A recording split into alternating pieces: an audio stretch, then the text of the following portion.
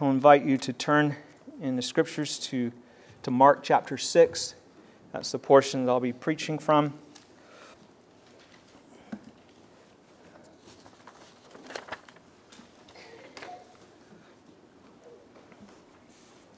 We're continuing in our series, sermon series in Mark's Gospel that we've been doing in the morning. And over the last few weeks, we've been looking at the remarkable majesty of Jesus in handling desperate situations, situations that, that before which people were helpless. He instantly calmed a storm with a mere word that a storm that had put his seafaring friends in terror that they could do nothing about, and he calmed it with a word. He drove out a legion of demons that had terrorized a whole community. He healed a woman that had had a flow of blood for 12 years, who only got worse as the physicians had treated her over those years. And he raised a 12 year old girl from the dead so that she was immediately made well. He was just like waking a child up from sleep. You know, little girl, get up and up she rose. In each instance, those who saw were left in utter amazement. They marveled at what they saw. They were struck by the majesty of the one who stood before them and who did these mighty works with such ease as one that was in complete authority. But with Mark 6, we come to a passage where his majesty is not acknowledged. And this time, he is the one who is amazed. I've entitled the sermon, Unbelief That Even Made Jesus Marvel. So listen as I read this passage to you, beginning in Mark 6, verse 1. This is the Word of God, so please give careful attention to it. Mark 6, 1. Then he went out from there and came to his own country, and his disciples followed him. And when the Sabbath had come, he began to teach in the synagogue, and many hearing him were astonished, saying, Where did this man get these things? And what wisdom is this which is given to him that such mighty works are performed by his hands? Is this not the carpenter, the son of Mary, and brother of James, Joseph, Judas, and Simon? And are not his sisters here with us? And they were offended at him. But Jesus said to them, a prophet is not without honor except in his own country, among his own relatives, and in his own house. Now he could do no mighty work there except that he laid his hands on a few sick people and healed them. And he marveled because of their unbelief. Then he went about the villages in a circuit teaching. May the Lord add his blessing to the reading and preaching of his holy word. Consider here our Savior's gracious desire to do good. We're told in verse 1 that he came to his own country with his disciples. We're not told what that country was, but we know that he grew up in Nazareth. And uh, it's a, it was a small village that was about 25 miles to the southwest of Capernaum. It was never, it was never mentioned in the Old Testament at all. It was not mentioned in the rabbinic literature of the, uh, the Mishnah or the Talmud. And it was not mentioned by the Jewish historian Josephus or hardly anyone else. One obscure reference to the place has been found. But archaeologists, we, we know, of course, where, where it is. Archaeologists have concluded, as they've done their diggings there, that it was an obscure hamlet with earthen dwellings in it, about 60 acres in a rocky hillside, with a total population they have determined of not more than 500. So, this is a very small place. Some of you are familiar with the nostalgia of returning home when, to a place where you grew up especially when you've only been away for a year or two. This is all the stronger when the place that you come from is a small place where everybody knows everybody and where many of your relatives live. Jesus likely knew everyone in this place.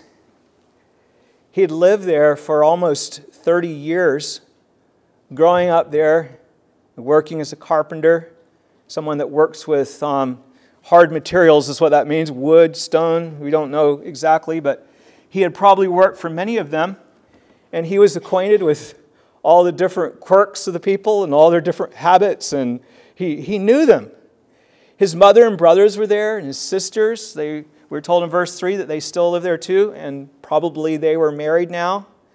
We must remember that he was more human than any of us are because he had no sin. And so his humanity wasn't clouded out by, snuffed out with the death of sin that, that ours is. So he experienced the fullness of the feelings and that that you have as you go to your people and you're among them. You're, you're, you're with those that you have known for a long time. Think of the great love that he had for these people. Because remember, he loved his neighbor as himself. None of us really do that. How he cared about each one of the members of this community. How he must have prayed for them over the years as he was living in that community day after day, exchanging things with them, doing business. He dearly loved these people. And there's no malice in him toward his neighbors. Look at how he endeavors to do them good. In verse 2, we're told that when the Sabbath came, he began to teach in the synagogue. His great desire in teaching, no doubt, was to persuade them that the kingdom of God was at hand, that they should repent and believe the good news. That was his message in every place, as Mark has told us. Surely to them, his people, he brought this message. How earnestly he must have prayed before he delivered this message and as he delivered this message, and as he anticipated speaking the word to them. As a man, he did not know, unless it was specifically revealed to him, how his message would be received. Sometimes he had prophetic revelation, but the divine nature and the human nature are not mixed together in such a way that he knows everything that God knows. Doesn't know when he's coming back, for example, he told us. As the Son of God, he knows all things and upholds the universe but in his human flesh, he knows only what is revealed to him. As a sinless man, he certainly yearned for his gospel to be welcomed and embraced to the salvation of these people. That he taught on this occasion is all the more a loving act in that he had previously been rejected when he went to Nazareth on an earlier visit. That visit we're told of in, in Luke, where he visited Nazareth before he set out on his Galilean ministry, which time he settled in Capernaum, where we have seen him. On that occasion, he had come from Judea, where he had been ministering there earlier, and he was um, without the twelve because he had not yet called them when he went the first time. He had been rudely received at that time as they sought to drive him off a cliff where, when he claimed to be the servant that Isaiah spoke of and told them that many in Israel would reject God's messenger and that many of the Gentiles would come and believe. It appears that they would have killed him if they could. They wanted to push him off a high cliff. But now, a year or so later, he's come back and in his love, he goes back to preach to them again at the synagogue. He will not be hindered by their previous abuse. His love will not allow it. Perhaps they will listen to him now that he has been acknowledged elsewhere as a prophet and where news has reached them of the marvelous signs that he has done. Maybe they had even heard of the recent raising of Jairus' daughter, a ruler in the synagogue. Maybe they had heard of that. Surely he was also ready to heal and deliver those at Nazareth who were in need. His heart of compassion always stirred when he saw those who were sick and in need. You remember when he healed the man with the withered hand and the woman who was bent over, and the Pharisees said, Oh, it's the wrong day. And he, he said that he had compassion on, on these ones, seeing their need to set them free from their affliction. Know that our Lord Jesus still delights to do good to others. He has sent us to do good in His name. He's reigning at the right hand of the Father. He still has human flesh. He still also, of course, always will be in His divine nature, but He also is still in human flesh there reigning for us. When you go to serve, when you go to encourage someone, when preachers go to preach, when you go to help those in need, when you seek to be an example and you pray for opportunities to, to minister to others, to tell others of your hope, Jesus is with you, delighting in what you're doing. He loves for his gospel to go forth as much as he ever did, just as much as he loved it when he was here and went everywhere preaching. We see at the end of this passage, he went around to all the villages preaching the Word of God. He intercedes for us continually in heaven. He ever lives, Hebrews says, to make intercession for us. Know that He is doing so even when you so much as give a cup of cold water in His name. He prays for our church, for our worship services, for each one of us to be blessed as we come together as God's people. It makes it very special, very precious something that we should, should realize the, the, the, the gravity and the opportunity that we have. He's out for our blessing, He's out for our good. He, but He can't be our Savior. We know who He is. That's what the people of Nazareth concluded. Look at verse 2 and 3. And when the Sabbath had come, he began to teach in the synagogue, and many hearing him were astonished, saying, Where did this man get these things? And what wisdom is this which is given to him that such mighty works are performed by his hands? Is this not the carpenter, the son of Mary, and the brother of James, Joseph, Judas, and Simon? And are not his sisters here with us? And they were offended at him. It would seem that they were offended because they knew him. As Jesus says in verse 4, a prophet is not without honor except in his own country, among his own relatives, and in his own house. They said, How can he be anything special? We know who he is. He's just one of us. He's nobody special. He's the carpenter, not a messenger from God that we should listen to. They said this even though they could see both his wisdom and his divine authority. What wonderful things they saw. Think about this. They were astonished, it says, at the wisdom by which he spoke. They heard words that, that rang with, with truth and authority that resonated in them as true as truth does. They heard words that were full of grace and hope. His words are words that penetrated them and showed them, like the woman at Samaria, all that they had ever done. They were also astonished at the mighty works that were done by his hand. Not only had they heard reports about his miracles, but we're told that he also did a few while he was among them, as verse 5 indicates. The evidence was all there that he was from God. It was right before their face. They could not deny it. How could they deny it? They inquired where he got these things. They knew his background, they knew where he came from. They knew that he had not studied under any famous rabbi, he had not sat at anyone's feet, he had not even been to university. He was a carpenter. But there he was, speaking with wisdom and performing mighty signs and wonders. The answer was obvious. His teaching and authority had to be of divine origin. They even referred to it as wisdom that's given to him. But they refused to accept that. They concluded that he could not be anyone special because he's just one of us. They knew who he was. He did not meet their criteria. to be the Messiah. He did not meet their criteria for what they thought the Messiah ought to be. This problem is actually much bigger than Nazareth. The Jewish nation as a whole rejected him for pretty much the same reason. He can't be the Messiah. He's one who died on the cross.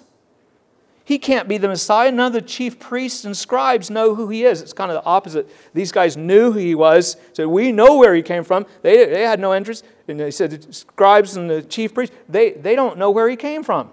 So he can't be. He must conform to their concept of what the Messiah ought to be. He must save them from Roman dominion at once, not go to the cross. It's the last thing that any of them thought the Messiah should do, including his own disciples. They had to work through that. Many of the Greeks could not accept him as both God and man after he began to be preached in the world. God the Son now taking on the nature of man while still remaining God. To them, that was absurd and scandalous. He can't be the Savior of the world that he was preached to be. We know, they said, that God cannot take to himself human flesh.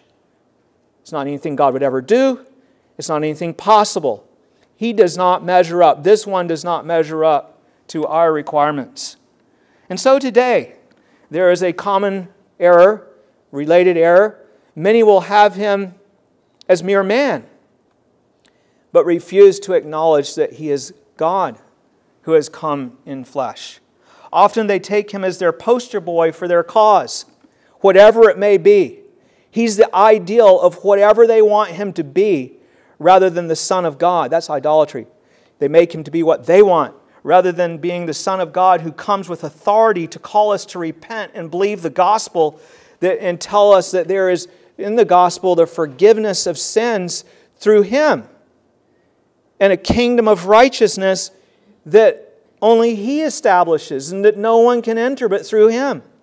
They refuse to accept that he can call out sinners who need to be saved by him. No, to be the right kind of Savior, he must conform to what they want him to be. He's got to conform to their causes and their ideas. But perhaps the saddest of all are those who grow up in the church and will not have him. They have heard his glory declared, and they know all about him. They're familiar with what the Bible says about him, and they know that he's not what I need. He cannot be a Savior for me. So all these conclude he can't be our Savior. We know who he is.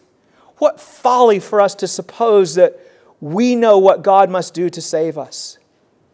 We're the ones that are in the miserable condition in which we need to be saved. We're the ones who have rebelled against God. We don't know what needs to be done. It's, it's not that He can't be our, our Savior because, or, or we, we conclude that He can't be our Savior because we know who He is, but actually, He can't be our Savior because of our unbelief. We're told that it was unbelief of the people of Nazareth that kept Him from doing many miracles among them. Verse 5 says, Now He could do no mighty work there, except that He laid His hands on a few sick people and healed them. It was not that He was unable, He had authority to heal the sick and to cast out demons. His power was the same regardless of what anyone thought of him. But the pride of these people kept them from coming to him because they refused to acknowledge his authority. To come for healing or expulsion of demons would require them to humble themselves before him and acknowledge his authority. They were so careful to protect their pride that they deprived themselves of the benefits of his healing ministry. Isn't that insane? Here's one that could heal them, but I can't acknowledge his authority, so I'm, not gonna, I'm going to avoid him. You have the real basis there for your unbelief. The evidence is all there. The truth itself attests to you, and yet you hang on your pride and refuse to believe. How destructive unbelief is. It's one of the most destructive things of all. By unbelief, sinners deprive themselves of the forgiveness of sin. They find some fault with God's remedy some defect in their mind with, a, with the Savior, and they refuse to go to Him. They say, He's got something wrong with Him. He's got something that doesn't measure up right. So they go on in their guilt without remedy. Oh, they try to salve themselves a little bit, they, they deny their guilt, but that will not help them on the day of judgment. A murderer can convince himself that there was nothing wrong in murdering someone, but it won't help him when he stands before the court. If you do not come to Christ for forgiveness, you will have to bear the full punishment of God for all your sin. There will be no escape for you if you reject God's remedy. The outcome will be eternal torment in the lake of fire. What blessings you will forfeit. You will forfeit the blessings of this life, the comfort of having all your sins forgiven, the joy of serving the Lord, even the privilege of persecution for Him in this life, and fellowship with Him, the fellowship of the saints and communion with God, growth in holiness and new life, and in the knowledge of Christ, all of those benefits. You forfeit living in hope of Christ's return, living in the assurance of His love. You forfeit all of this because of your proud unbelief, because you found some defect in Christ. You also forfeit the blessings of the life to come, the resurrection of your body to immortality, a new heavens and a new earth where righteousness dwells, the delight of living in God's house where His glory is seen and where His kindness is constantly experienced, the glorious company of all the people that God, of God made perfect in love and righteousness, so that they all love as He loved us. What folly to let unbelief keep you from the one and only Savior. Such unbelief caused even Jesus to marvel. Verse 6 says, And he marveled because of their unbelief. It's very striking. Jesus marveled. We have seen Jesus doing signs and wonders that made the people around him marvel but he always seems to be unimpressed with him, with, with what he's done. You remember last week with the raising of Jairus' daughter, the, the girl's parents and the three disciples who saw it there um, when she was raised, the girl's parents and the three disciples who saw it were, were overcome, it says, with great amazement. And Jesus just said, Little girl, get up. Just normal language, quotes the words he used, just an ordinary way that you tell a child to get up when it was time to get up in the morning. And she got up from her death and walked around, and they're all amazed and astonished. And Jesus says, Hey, she's hungry. you need to get her something to eat. The majesty, the poise. What a, what a, what a marvelous, marvelous picture. He, he wasn't amazed at uh, it, it, what everyone else was amazed by. In fact, there's only one other time that this word, particular word marvel that's used here is used of Jesus. And that's with the, also has to do with faith. But the presence of faith that was in the Roman centurion.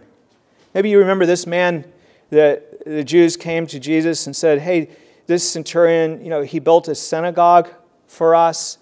He, he was a rich and powerful man, of course. He was there because there was a lot of wealth in the, in the area, and they had a, the, the, um, taxation with the customs house there and everything where Matthew had worked. And so uh, he sent Jesus to request the healing of his servant. And do you remember what that centurion did when he heard that Jesus was coming? He was a little bit, I think, surprised that Jesus was coming because he was a Gentile. And uh, in Luke 7, verse 6 through 9, it says, The centurion sent friends to him, saying to him, Lord, do not trouble yourself, for I am not worthy that you should enter under my roof. Therefore, I did not even think myself worthy to come to you. He sent the, the Jews, you see. But, but say the word, and my servant will be healed.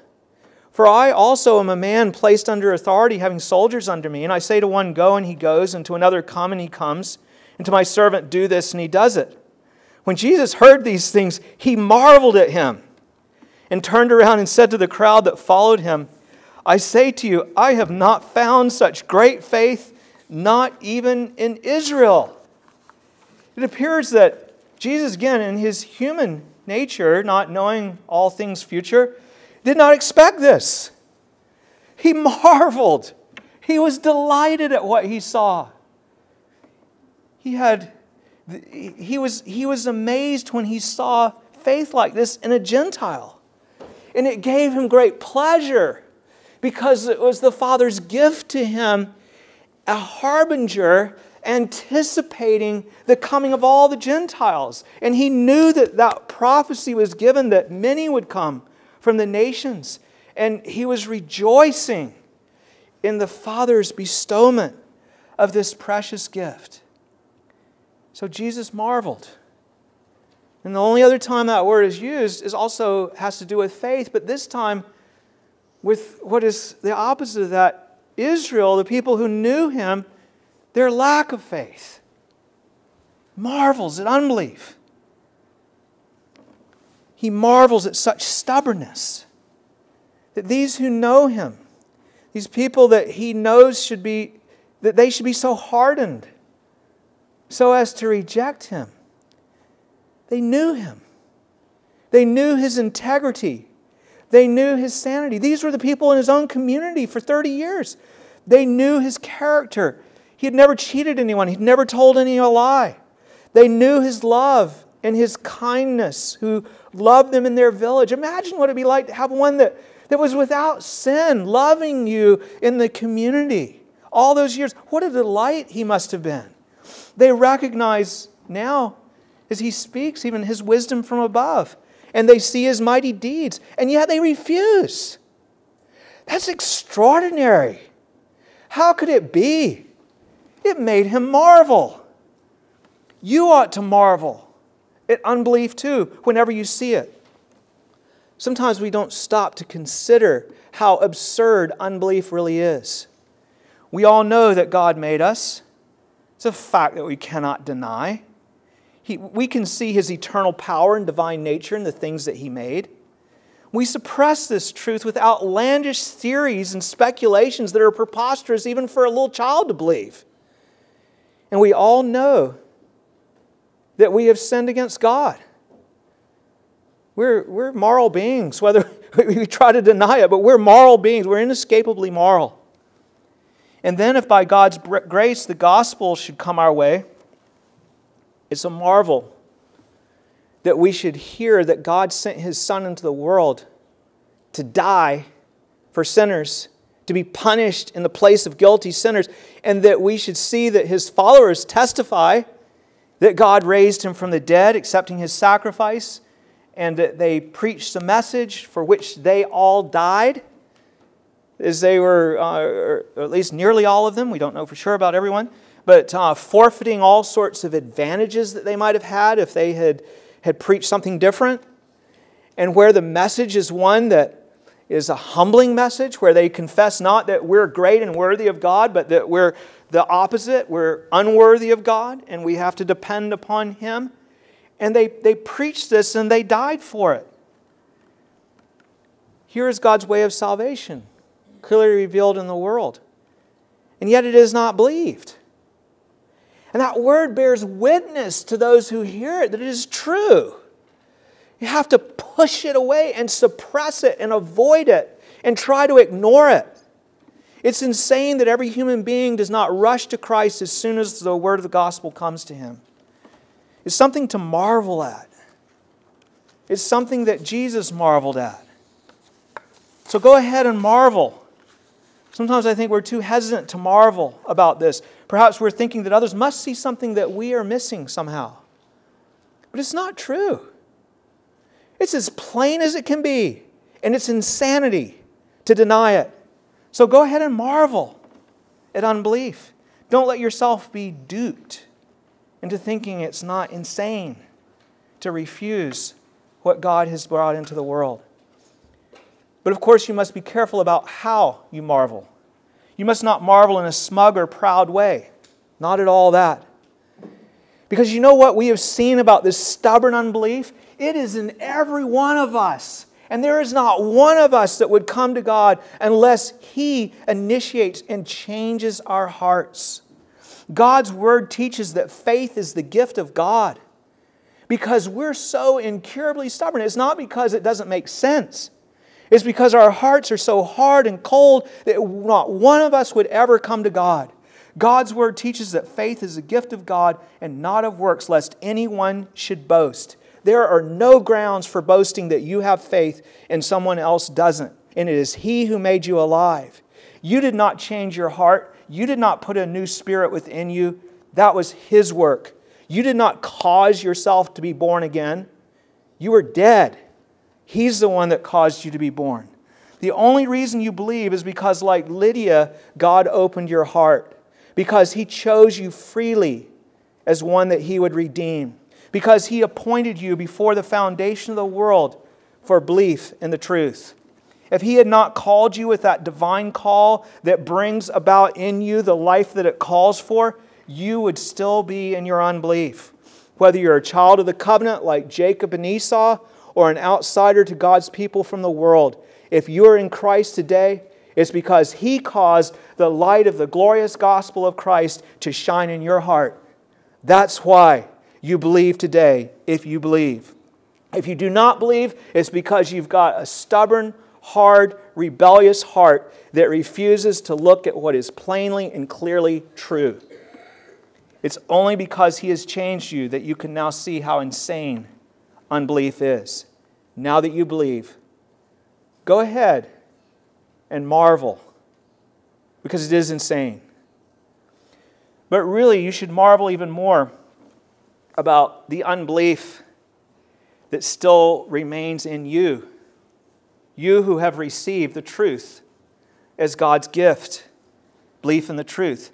Perhaps it's even more amazing that God has opened your heart to believe and there's still so much unbelief in you. Remember the man that said, I believe, help my unbelief? How often do you insanely live as if the treasures of heaven are worth very little and the treasures of earth are worth everything? So much that you don't even bother to read the word. You've got something more important to do. That you don't bother to go to the services of church. If you do, you do so with very little hunger, with very little prayer. You got an appetite for other things. It's unbelief. You come as if the treasure is worth little. You're more eager to see a post on Facebook than you are to read God's Word. You got time for that, but you don't have time to come before the Lord. We could go on about our unbelief as believers. But when we see the unbelievers of this world, yes, we should marvel that they refuse what is so obvious, but not without a great deal of humility. That the only reason we believe is because God gave us the gift of faith, and marveling that we who have been called into God's fellowship continue in so much unbelief still. And you must also marvel at unbelief without glee but with deep sorrow. You know how sometimes when you see something that is insane, there's almost a kind of a glee, kind of a gloating. And there is a form of laughter that's appropriate for things that are ridiculous at the insanity of unbelief. How, how, how can this be? But there should be much sorrow because these are your neighbors and they're going to perish unless they come to Christ. You should weep for them. You should plead with God for them. And you should also plead with them whenever you're given opportunity. Let's return to look at the marveling of our Lord in this regard. He was, to be sure, marveling, there, there was to be sure a marveling that filled him with sorrow.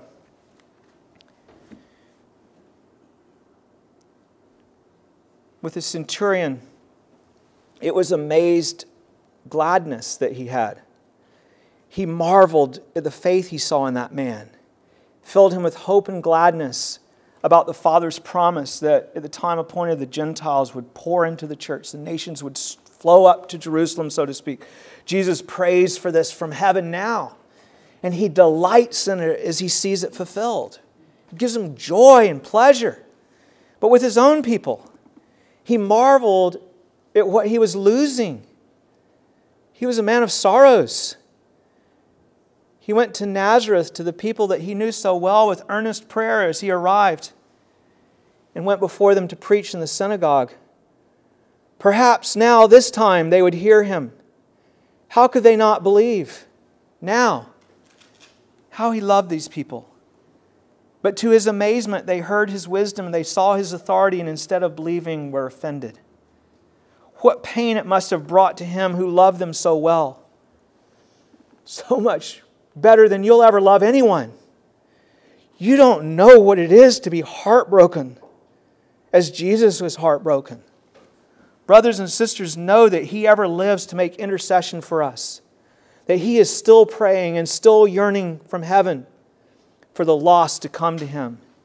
When you go in prayer to speak of Him to a, to a friend, when, you, when, when you're going to speak to a friend and you're praying before Him, He is yearning and praying with you at the right hand of the Father.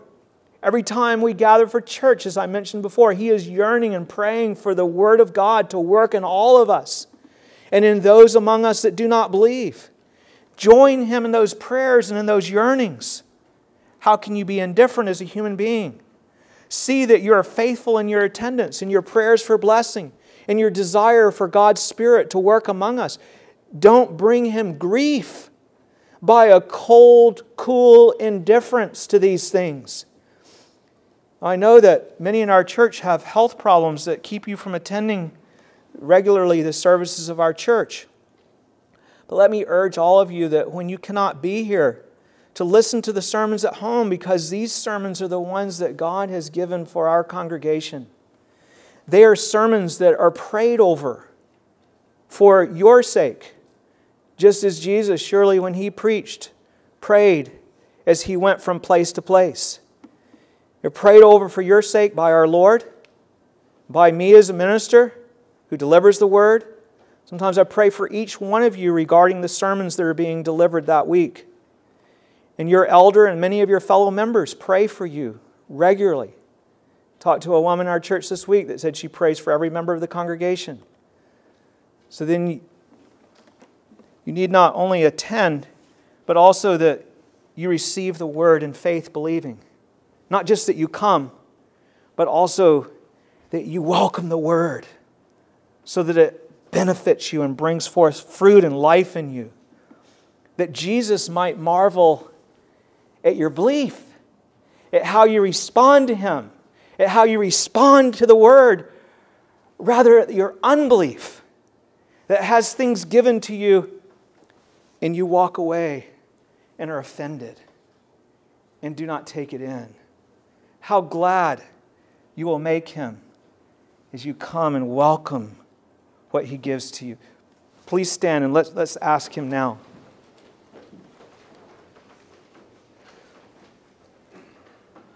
Oh Lord our God, how we thank you for what you have appointed for us as your people. Father, it's such a it's such an amazing thing that you have appointed that through the foolishness of preaching, that souls would be saved and that saints would be edified. And that when we welcome the Word of God, not as the Word of man, but as is in truth the Word of God that effectively works in those that believe, that it really does effectively work. It keeps us, it transforms us, and it converts us if we're not saved. We praise you, O Lord, and we pray that you would help us, Lord, as your people, that we would cry out for the blessing that, that you promised in connection with these things. Father, you've said it all through your word. You, you call us to come and eat, and we're so full of other things. Our unbelief our pride, our blindness. Father, work in us by your Spirit. Help us, as it says in the Scripture, not to forsake the assembling of ourselves as a manner of some, but to encourage one another as we see the day drawing near. We would refresh each other. We would build each other up in the faith, that we would welcome the truth that you have provided for us in your providence. Not that there's great preaching in one place or another, but that through the weakness of whatever is preached in your name, through the weakness of a cup of cold water given in your name, that you work. And we praise you, Lord Jesus, that you engage your prayers. That in fact, we're not really the ones who pray and you pray with us, but the other way around. You're the one who is praying for the church to be gathered, for your people to be kept and edified. You're the one who is praying for the means of grace that you have appointed. And we're the ones who join you in those prayers, praying in your name. And we praise you that because we come in your name, that the Father always hears us. We know, Lord, that, that you will work your sovereign plan and that you will gather all those that you have appointed to salvation to salvation, and you will cast all the rest into the lake of fire. Father, we pray, though, as we see these, our neighbors, our friends, our loved ones, people of our community, we would pray for them that you, O oh Lord, would do your work in them. We don't know what the outcome will be for each one of them. So we plead with you, O Lord, have mercy on them. We would desire to see our city come to the knowledge of the truth. That all of the uh, officers, the, the ministers of justice, and the uh, leaders of our land, and the, all the community people, all the people that are, are our neighbors, and our, everyone here would come to know the truth, and that you would remove the blindness, and that they would see, Lord, it's such a clear thing, and yet it's so fuzzy to proud unbelief. Father, we're all of that cloth. And we thank you so much for what you have done in us. We thank you, Lord, and we praise you, and we pray that we would cherish the new life that we have been given and the light that has entered our dark souls. Thank you, Lord. Send us forth in, in your name, seeking your glory, that your kingdom would come and that your will would be done on earth as it is in heaven. We pray in Jesus' name. Amen.